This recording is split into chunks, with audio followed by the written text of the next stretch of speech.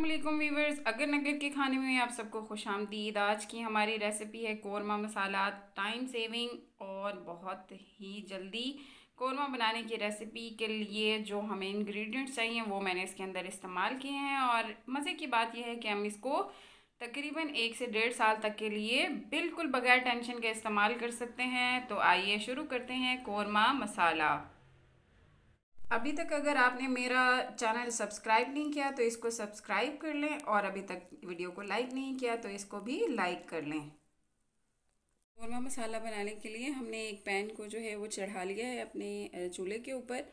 इसमें मैं डाल दूँगी तकरीबन दस से बारह जो है बादाम कटे हुए। इसको हम थोड़ी देर के लिए रोस्ट करेंगे ऑलमोस्ट ट्वेंटी सेकेंड तक।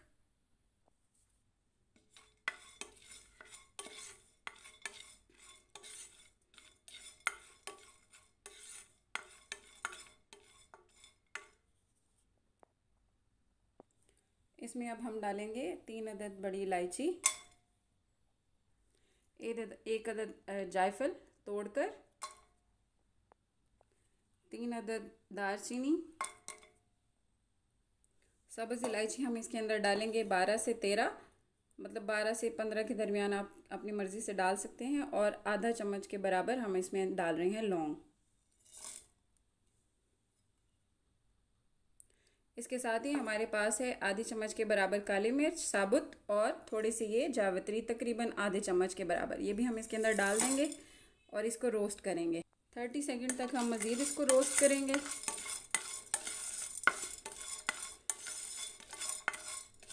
बहुत ही आसान सी रेसिपी है। ईद आने वाली है तो मैंने सोचा क्यों ना आप सबके साथ ये शेयर की जाए। तो हमारे पास पहले से ही ये मसाला बन के तैयार होगा तो हम आसानी से कौरमा जो है वो घर पर तैयार कर सकते हैं। जी तो करने के बाद अब इसके अंदर हम डाल देंगे ए, तीन चम्मच के बराबर सूखा धनिया साबुत एक चम्मच के बराबर सौंफ और आधे चम्मच के बराबर ज़ीरा। अब हम इन सबको भी खुशबू आने तक रोस्ट करेंगे। वैसे तो बहुत सारे लोग जो है वो आ, मसाला आ, जो कौरमा मसाला है वो बग़ैर रोस्ट किए भी बनाते हैं लेकिन इस तरह से इसकी लाइफ जो है वो इतनी ज़्यादा नहीं होती है। जिस तरह से मैं बना रही हूँ इस तरह से हम इसको काफ़ी टाइम के लिए सेव कर सकते हैं। तो इसको हम खुशबू आने तक करेंगे रोस्ट और उसके बाद फिर मैं आपको बताती हूँ। जी तो मज़ेदार सी खुशबू जो है तकरीबन थर्टी सेकेंड और अप्रॉक्सीमेटली वन मिनट के अंदर आना शुरू हो गई है। तो अब मैं इसको निकाल लूँगी और इसको कर लूँगी ठंडा। उसके बाद फिर हम इसको करेंगे ग्राइंड फिर मैं आपको इसकी ओरिजिनल शक्ल दिखाती हूँ। तो ये इस तरह से मैं इसको एक प्लेट में निकाल लूँगी और इसको हम ठंडा होने देंगे। ठंडा होने के बाद इसको मैं ग्राइंड करूँगी और फिर मैं आपको दिखाती हूँ। तो वीवर्स आप देख सकते हैं कि जो मसाला मैंने रोस्ट किया था, उसको अच्छे से मैंने जो है ये इस तरह से पाउडर बना लिया है।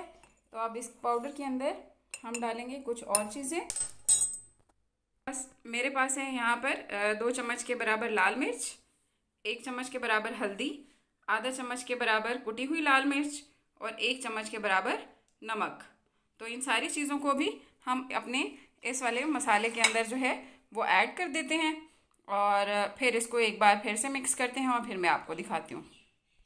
जी तो व्यूवर्स हमारा ये जो मसाला था, ये देखिए, ये अच्छी तरह से मैंने इसको पीस लिया है, नमक और लाल मिर्च, हल्दी और जो हमारे पास थी कुटी लाल मिर्च, वो भी मैंने इसके अंदर ऐड कर दिया है। तो ये देखिए, मज़ेदार सा हमारा जो मसाला है, वो रेडी हो गया है। अब हमने कुछ नहीं करना जस्ट हम इसके अंदर कुछ मसाले हैं जो साबुत रखेंगे। जी तो मज़ेदार सा मसाला जो है ये रेडी हो गया है। बेहतरीन खुशबू आ रही है, जैसे कि हम बाहर के मसाले लेकर आते हैं। बहुत मज़ेदार और बहुत ही आसान सी रेसिपी है। आप ज़रूर ट्राई कीजिएगा। ईद आने वाली है तो मैं कहा चलें, इसको भी ट्राई करते हैं। तो अब मैं आपको बता देती हूँ कि हम इसके अंदर साबुत क्या क्या डालेंगे। तो हमारे पास है जी यहाँ पर आधे चम्मच के बराबर लौंग और तकरीबन है चौदह से पंद्रह हमारे पास ये इलायची छोटी इलायची या सब्ज़ इलायची जो भी आप इसको कह लें। और इसके अलावा मेरे पास है यहाँ पर एक चम्मच के बराबर जो है काली मिर्च, साबुत। तो ये हम इसके अंदर भी ऐड कर देते हैं। और मेरे पास है यहाँ पर तकरीबन चार से पाँच तेज़पात के पत्ते जो मैं तोड़ के रख लिए हैं। इसको भी हम इनके अंदर मिक्स कर लेते हैं। और ये हमारा मज़ेदार सा जो कौरमा मसाला है वो रेडी हो गया है। तो इस ईद पे भी इसको एंजॉय करें बाद में भी इसको एंजॉय करें इसको बना कर रख लें। बहुत ही शानदार सी रेसिपी है। बहुत टाइम सेव होता है। जस्ट हमने करना क्या है कि अब हम इसको एक जार में डालेंगे और डा, डालने के बाद एक एयर टाइट जार के अंदर हम इसको फ्रिज में रखेंगे। मैं आपको यहाँ पर ये बात बता दूँ कि अगर आप इसको लॉन्ग टाइम के लिए जो है सेव करना चाहते हैं तो आपने इसको एयर टाइट जार के अंदर डालना है और उसके बाद इसको रखना है फ्रिज के अंदर। तो ये एक से डेढ़ साल आप इसको आराम से बगैर किसी टेंशन के इस्तेमाल कर सकते हैं। ठीक है? हाँ लेकिन अगर आप एयर टाइट जार में नहीं डालते तो फिर भी आप इसको अपने किचन की शेल्फ में या कहीं पे भी रख सकते हैं, जहाँ पर आप इसको तकरीबन तीन महीने तक बगैर किसी टेंशन के इस्तेमाल कर सकते हैं।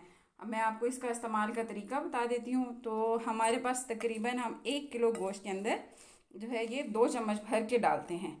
एक किलो गोश्त के अंदर दो चम्मच भर के। आप मसाला थोड़ा ज़्यादा खाते हैं तो फिर आप इसको तीन कर लेंगे, ठीक है?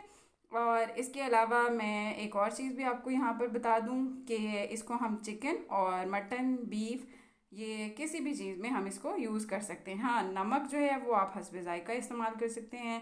जो लोग बिल्कुल नॉर्मल नमक खाते हैं, उसके मुताबिक मैंने इसके अंदर एक चम्मच के बराबर नमक डाल दिया है। लेकिन आप अगर ज़्यादा नमक खाते हैं तो आप इसके अंदर अपने मुताबिक ऐड कर सकते हैं। आई होप कि आपको मेरी ये रेसिपी अच्छी लगी होगी। इन इनशाला मिलते हैं नई रेसिपी के साथ। अपना बहुत सारा ख्याल रखिएगा।